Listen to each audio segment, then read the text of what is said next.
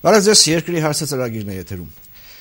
Մեր այս ժամանակի ու տարածության մեջ քաղաքական նախընտրական գործընթացները այնքան են գրավել հանրային ուշադրությունը, որ մի պատահում է թե մնացյալ ամեն ինչ հայտնվել է ստվերում։ Եվ եթե նույնիսկ կարևորվում, արժևորվում է որևէ իրադարձություն, ասենք մարզական կամ մշակութային, անմիջապես հետևում ենք, թե ով գնաց, ով մասնակցեց, ինչ ասաց, ինչ խոսեց, ում քարոզեց, թակուն կամ բացահայտ։ Այսօր մենք քաղաքականությունից որոշեցինք այս թողարկումը զերծ պահել եւ անդրադառնալ մի մարզական կարևոր նշանակության։ Ինչպես գիտեք, անցած շաբաթ Սերբիայում կայացավ ըմբշամարտի Եվրոպայի առաջնությունը, որին մասնակցեցին նաեւ հայ ըմբիշները։ Երկրի հարցը ծրագրում ես այսօր զրուցելու եմ Հայաստանի հունահռոմեական ոչի ըմբշամարտի հավաքականի գլխավոր մարզիչ, նաեւ մարզական նվաճումները նշեմ աշխարհի, Եվրոպայի, օլիմպիական խաղերի չեմպիոն, աշխարհի գավաթակիր Լևոն Ճուլֆալակյանի հետ։ Բարի երեկո։ Բարի երեկո։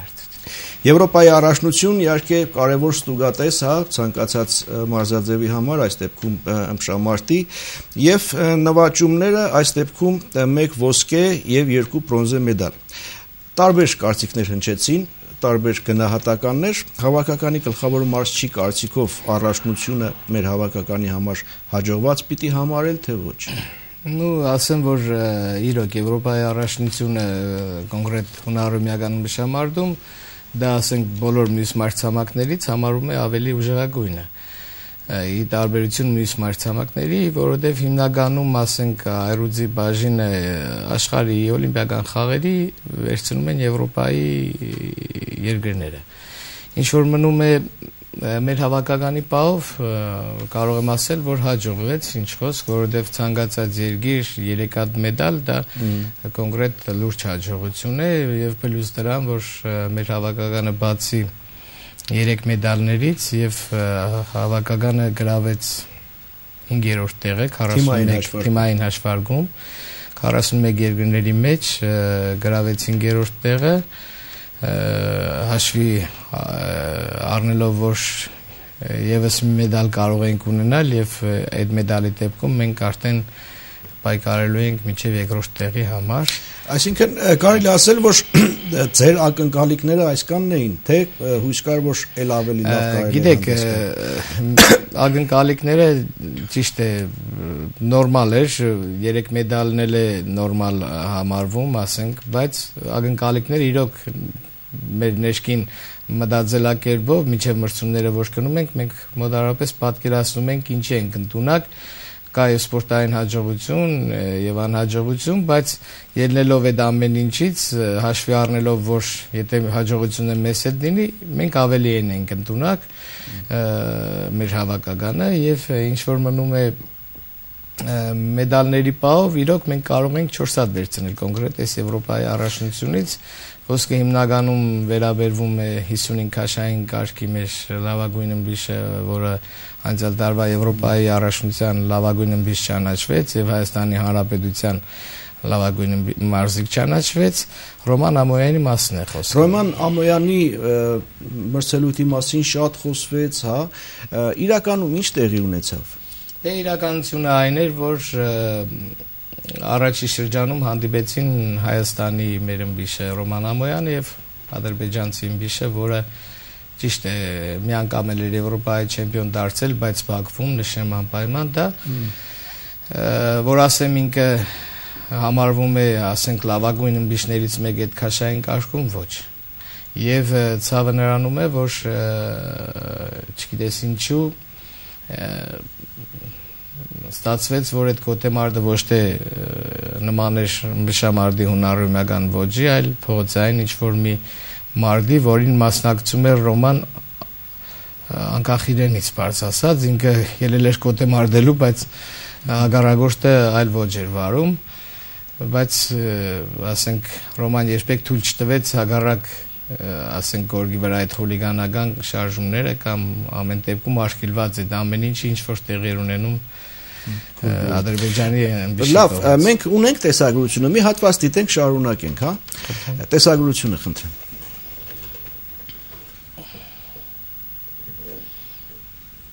Այ հիմի, եթե դուք նկատում եք,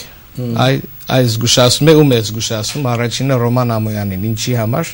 որ ադրբեջանցին խփում է։ Հիմի Մինայեք այդ բանը նորից տեղի կունենա։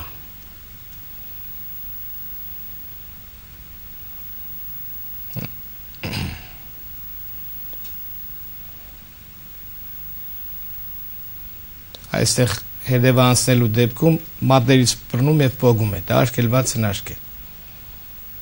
Ու չնկատելու է տալիս։ Հա, մրցարարը բնականը չնկատելու է տալիս։ Հա, նայեք նայեք մոդերնում է գլխով խփում է անընդհատ Այս արդեն երկրորդ զգուշացում է։ Նման դեպքում ոչ թե զգուշացում են անում, արդեն նկատողություն են տալիս եւ միավոր մյուս ըմբիշին։ Զգուշացումը տրվում է մի անգամ, բայց այս պարագայում անդադ զգուշացումներ է տրվում ոչ թե նկատողություն։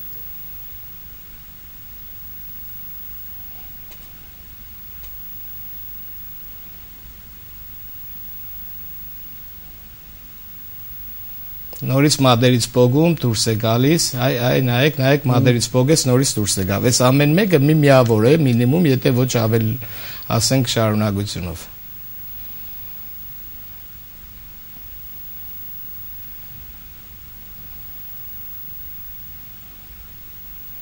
Եվ այսպես մինչև վերջ Այս ամբողջ կոտեմատ դե հիմի ամոյանը հնարք է կատարում հետո 3 միավարանոց Ա նայեք, նորից նայեք, դե, տեսնում եք ինչ է տեղ ունենում։ Սա փողոցային կռիվ է, ասենք, շամարդի մեջ չի կարող նման բաներ անել։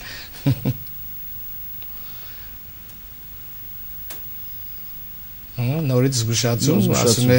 ձեր տվեք իրար, բայց ինչի մասն է խոսք, ինչքան կարելի է զգուշացնել։ Այս ամեն մեկը միավոր նկատողություն է, իսկ նման նկատողություններ, եթե այնպես ստանում է 3 նկատողություն, արդեն դա պարտություն է։ Բայց աստեղ այս պարագայում արդեն նրան կարելի էր մի 5 հատ նկատողություն տալ։ Բայց Եվրոպայի առաջնությունում այս կարգի մրցավարություն մի հատ զգուշացում այս խախտում արեց արդեն, բայց Ռոմային է զգուշացում։ Նայեք, նայեք, զգուշացնում է Ռոմային։ Ներկևինը խախտում է անում, ինքը զգուշացնում է Ամոյանին։ Իմի սդից նրան է զգուշացում։ Բայց արդեն երկրորդ զգուշացում չլիներ, արդեն նկատողություն լիներ։ Իմիստեղ կատարում է Ամոյանը հնարք։ Եվ գնահատվում է այդ հնարքը 3 միավոր բնականաբար, որովհետև այլ միավոր չեն կարող գնահատել ըստ կանոնակարգի նրանում է, որ ձեր հարցին պատասխանեմ, Արտուր ջան, որ ամբողջ Եվրոպայի մասնագետները բոլոր թիմերն էին զարմացած, ասենք, այս Եվրոպայի անցկացված 3 միավոր, այս առաջի երկու րոպեի ընթացքում հաղթող է ճանաչում Ամոյանը։ Եվ բոլոր թիմերն էին զարմացած, որ օլիմպիական խաղերից առաջ հիմնականում ցանկացած մրցավար վախենում է, որ ինքը կարող է օլիմպիական խաղերի վարկանիշ ստանա որպես մրցավար եւ աշխատում են շատ զգոն եւ ուշադիր դատել, չսխալվելու համար, բայց այս պարագայում դա սխալ չի։ Սա միդումնավոր հայլեր է արվում, ոչ թե սխալվում է մրցավարը։ Ինքը շատ լավ է պատկերացնում է, որ նման, ասենք, մրցավարություն չի կարելի, չի թույլատրվում։ Սա օրենքներին լրիվ հագարակ բան է ստացվում բայց նա փորձում է բայց լավ սրանից հետո ինչպես պատահեց որ Ամոյանին որակազրկեց? Դե գոտեմարդի վերջում բնականաբար ստացվեց որ Ամոյանը շարունակություն ասեմ եթե հաջորդ երկու րոպեվա ընթացքում նորից նույն շարունակությունը գնաց ինչ որ նոր նկատեցինք դիտեցինք եւ վերջում Ամոյանին տնում են պարտեժ ըստ գույների, առաջինը կարմիրն է վերևից աշխատում, հաջորդ երկու րոպեի վերջում կապույտը։ Կապույտը փորձում է գլորում հնար կատարել, դա գնահատվում է երկու միավոր ընդհանրապես։ Բացի այդ երկու միավորից որ գնահատեցին, հետո դրան ավելացվին պլյուս 1 միավոր, դա նշանակում է, որ Ռոման Ամոյանը խախտում է արել պաշտպանվելուց ոտքով, ձեռքերով, մի խոսքով պլյուս նկատողություն։ Դա ինչի համար է արվում, որ հաջորդ երրորդ երրորդ մասում արդեն վերջում եթե 3-3 է միավորները վերջանում, առավելությունը տրվում է այն ըմբիշին, ով որ վաստակել է նկատողություն։ Այս պարագայում արդեն Ամոյանը ուներ նկատողություն եւ հնարավորություն տրվում է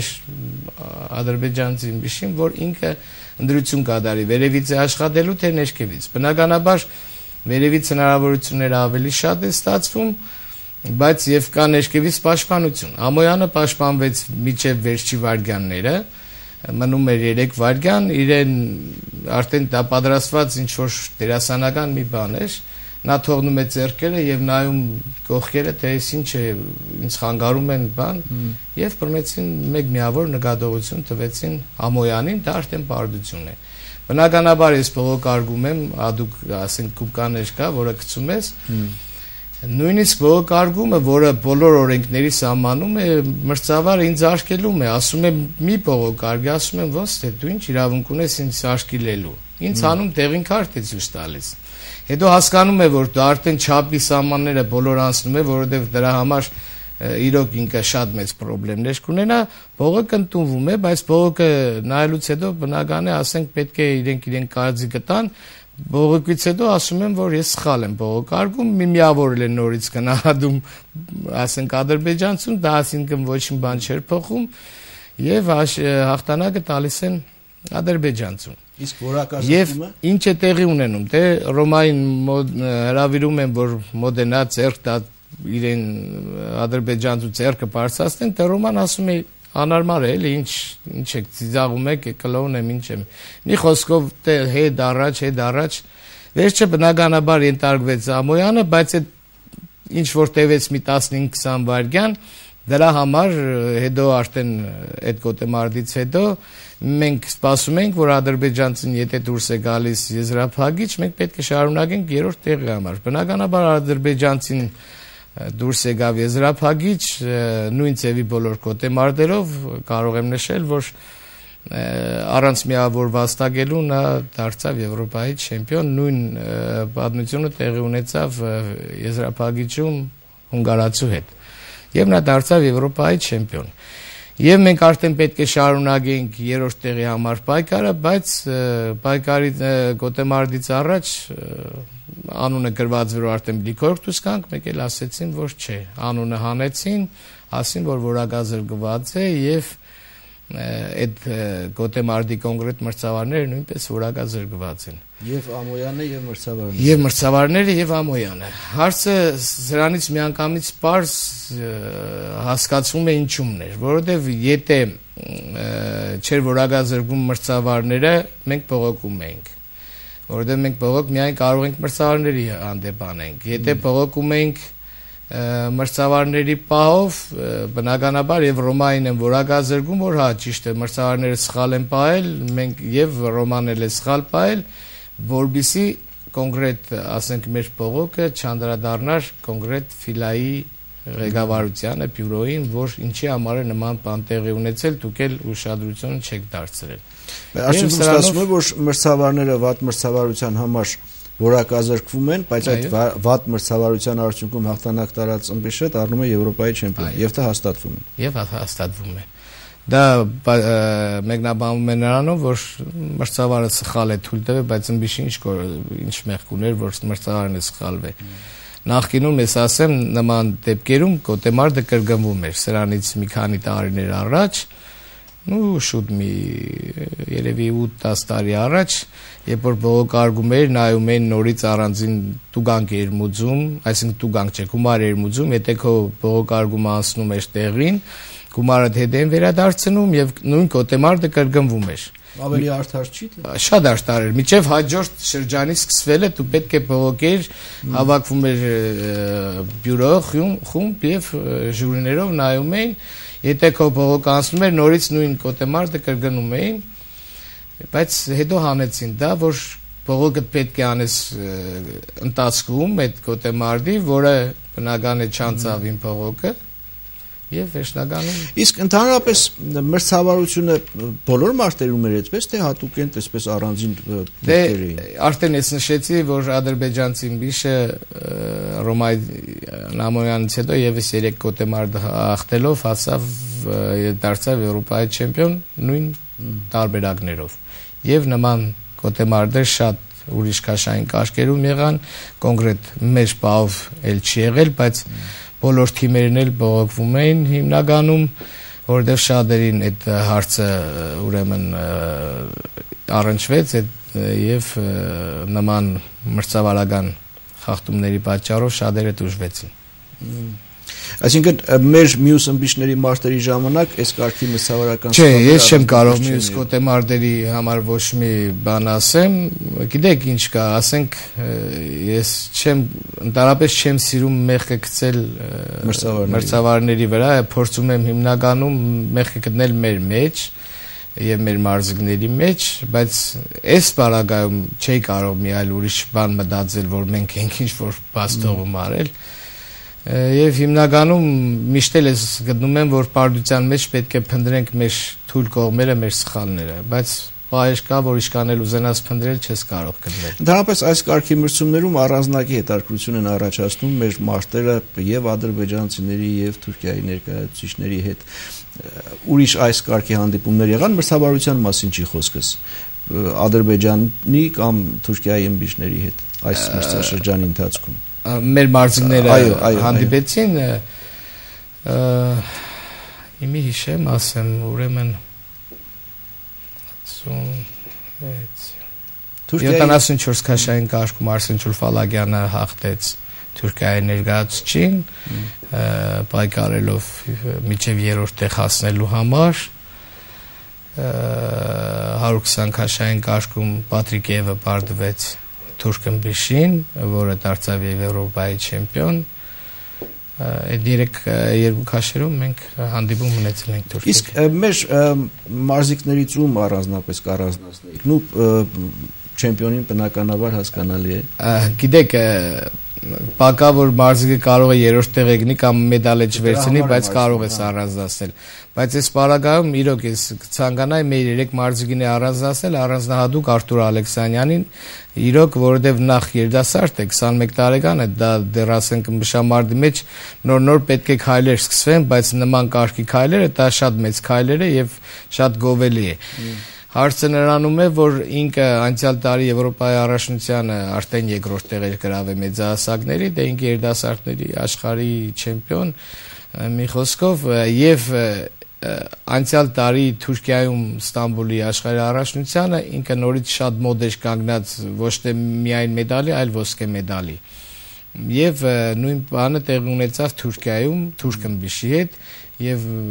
ցավոք մենք զրկվեցինք եւ մեդալից եւ վարկանիշից օլիմպիադան խաղերի հետ քաշային կարգում այս պահին եւ երևի նա ավելի դրամադրված, չգիտեմ, իրոք շատ շատ գեղեցիկ կոտեմարդեր արեց առանց միավոր տալու միջև եզրափակիչ եւ եզրափակիչում նույն ծևի 5 կոտեմարդ արել առանց միավոր տալու եւ շատ միավորներ վաստակելով Եվ այնտեղ ցաներ գոտեմարդեր է ունեցել, ասենք Արսեն Ջուլֆալագյանը լուրջ հագարագործների հետ է հանդիպել Վլասովի հետ, Ռուսաստանի նույն Թուրքմբիշի մի խոսքով Ուկրաինայի, ասենք ներկայացուցի հետ եւ անկախ արդյունքը որ երրորդ տեղ են գե իրոք շատ որակով գոտեմարդեր է արել Ես շատ գոհ եմ Պատրիկեևից ինչի համար։ Նորից երրորդ տեղ են գել, բայց նույն Թուրքմբիշի հետ հանդիպելիս ինքը մի անգամ հաղթել է Թուրքմբիշին, բայց ինչ որտեղ լավ ստացվեց, բա բռնեց եւ հաղթեց։ Բայց մարզական բախտի գործ է։ Նու պայտակ կարողացավ բռնել եւ պարգասնել։ Բայց դա գոտեմարդի սկիզբն էր։ Թուրքմբիշ այսօր շատ ֆիզիկապես եւ ֆունկցիոնալ պատրաստականություն շատ բարձր է, կարող եմ ասել, այդ քաշային կարգում երևի կարող է ինչ որտեղ Լոպես կա բանում Կուբայից շատ մոդ է կանգնած։ Ամեն դեպքում այս մրցումների ժամանակ Պատրիկեևը ավելի հաջող մասնակցեց Թուրքմբիշի հետ, քան իրեն անցած կոտեմարդերը որ արել էր։ Իսկ մերոնցից ում որ որ մարզիկներ որ ավելի շատ ակնկալիք ունեիք, բայց չարտարացավ կա այդպես։ Դե բոլորս գիտենք, որ ակնկալիքները պետք է լինի ամբողջ հավաքականից։ Ես չեմ սիրում նման բան ասել ինչի համար։ Դուք պատկերացնում եք, հիմի հերոստատեսությամբ նայում են մեր մարզիկները։ Եթե ես որից է մեկին կովաբանը, մեր մյուս մարզիկի հոգեբանությունը իշքան խախտված կլինի, ասենք մտածի եթե մեր հավաքականի մարզիչը մեզ չի հավատում, եւ գովաբանում են մյուսներին, ինչ կարող են մտածել մյուսները։ Միանգամայն համաձայն եմ եւ հասկանալի։ Այս մրցումները վարկանիշային չէին։ Վարկանիշային չէին, ասեմ ինչի համար։ Ուրեմն անցյալ օլիմպիական խաղերից առաջ բոլոր մարտհամակների առաջնության հաղթողները վարկանիշ էին ձեռք բերում, բայց ինչի համար չարեցին վարկանիշ, քանի որ վարկանիշային վարկանիշ ձեռք բերած ըմբիշները աշխարհի առաջնությունից իրենք բոլորը մասնակցում են այս Եվրոպայի կամ Ազիայի մյուս մարտհամակների առաջնություններին եւ շատ դեպքերներում բարձ ասած առուցախի պայեշ կարող է տեղի ունենա որ վարկանիշ ձեռք բերած ըմբիշին արդեն այդ չեմպիոնը ասենք պետք չի ինչ-ինչ բաներով կարող է ինքը գոտե մարտին դուրս չկա մի խոսքով դա հաղթանակ կլինի եւ բարձ ասած հեշտ վարկանիշ կարող է ստացվի վարկանիշային մրցումները երբ են լինելու մինչև Օլիմպիադա։ Ուրեմն վարկանիշային մրցումները մեր սկսվում է ապրիլի 19-ից մինչև 23-ը եւ հաջորդաբար շապ ամեն մի շաբաթ դո ապրիլի 20-ը 6-ից մինչև 30-ը եւ մայիսի 3-ից մայիսի 7-ը Դրանքինչությունը վարկանիշային մրցաշարեր են կոչվում առաջի վարկանիշային մրցաշարը լինում է մարտհամակների համար արդեն Ազիայի վարկանիշայինը գնում է բայց մերը չգիտես ինչու նորից իրար հետ շատ կծված է գնում առաջինը եվրոպական վարկանիշային մրցաշար է հաջորդը արդեն համաշխարհային առաջի մրցումներից մեզ տրվում է առաջի եւ երկրորդ տեղերը այսինքն բոլորին հաջորդը Չինաստանում է, առաջ երկրորդ եւ լավագույն երրորդ տեղ զբաղեցրած Բիշը եւ վերջի վարկանիշային մրցում մայիսի 3-ից 7-ը դա կանալու է Ֆինլանդիայում նորից առաջի եւ երկրորդ տեղ գրաված մարզիկները իրավունք են ստանում մասնակցել օլիմպիական խաղերին։ Հիմա բնականաբար արդեն մտածում եք, չէ՞, օլիմպիադայի մասնակցության կազմի բանի մասին։ Դե բոլոր սպորտաձևերում կոնկրետ ասենք բացի ֆուտբոլից եւ շախմատից օլիմպիական խաղերը դա համարվում է ամենաբարձրագույն աստիճանը եւ ցանկացած մարզիկ երազում է որ նախ եւ մասնակցի եւ մեդալներով վերադառնա այսօր մեր գրագույն նպատակն է որ շատ մասնակից ունենանք որովհետեւ քանի որ ինչքան թիմը շատ է այնքան ասենք ավելի շատ մասնակից է, այսինքն բոլոր քաշային կարգերում այդ 7 մասնակից է։ 7 քաշային կարգ ունենք, դա նշանակում է, որ փորձենք որ ունենալ 7 մասնակից։ Բայց դա իդեալական առավելագույն իդեալական տարբերակ է։ Շատ լավ կլինի, եթե ստացվի, փորձելու ենք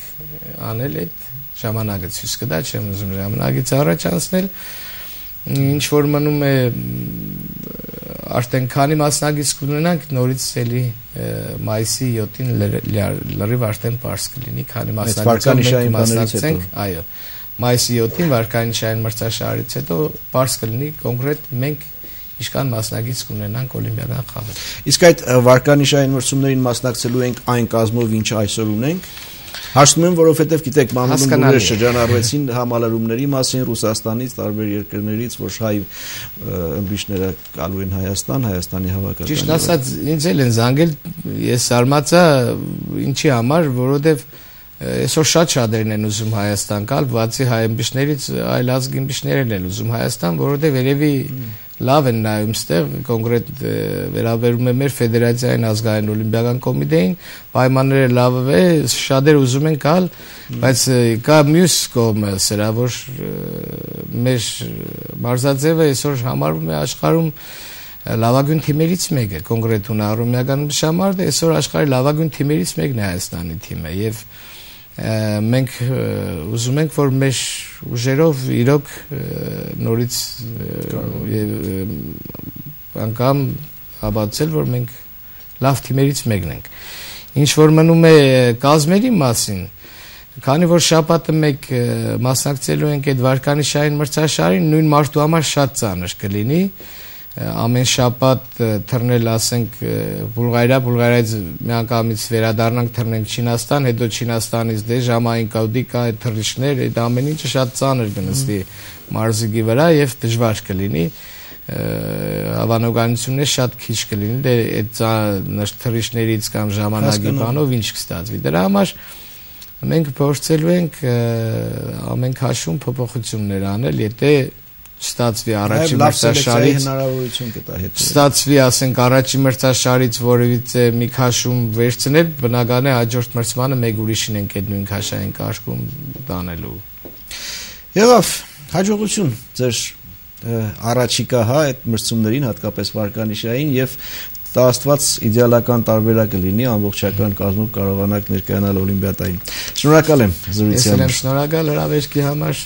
Ես եմ ցանկանում մեր հավաքականին եւ մյուս բոլոր հավաքականներին շատ վարկանիշներ եւ ոսկե մեդալներ օլիմպիական խաղերից։ Այսքանը երկրի հարցը ծրագիրներ եթերում ես զրուցում էի Հայաստանի հունահռոմեական ոչի ըմշամարտի հավաքականի գլխավոր մարզիչ Լևոն Ջուլֆալակյանի հետ։ Լավ մնացեք։